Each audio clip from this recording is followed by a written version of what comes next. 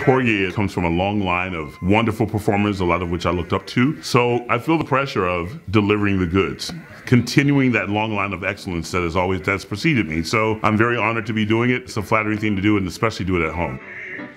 Porgy and Bess is still controversial. Lots of stereotypical images, lots of perpetuation of images that we like to distance ourselves from. But that being said, it's a beautiful story. The music's incredibly beautiful, and I'm honored to be a part of it. I think people that have not been to the show or have not been to the opera will find lots of hit tunes. You know, Bess You is my woman, a woman is a sometime thing, it ain't necessarily so, summertime, I got plenty of nothing. You know, they're all in there, so it's a good show. In most operas, the thing that makes it wonderful is that characterization transcends time. So we all have something we can relate to. So I think that that's one of the beautiful aspects of Catfish Row. You know, it's, it's opera. We're all set to deliver the goods and make sure that everyone enjoys the show.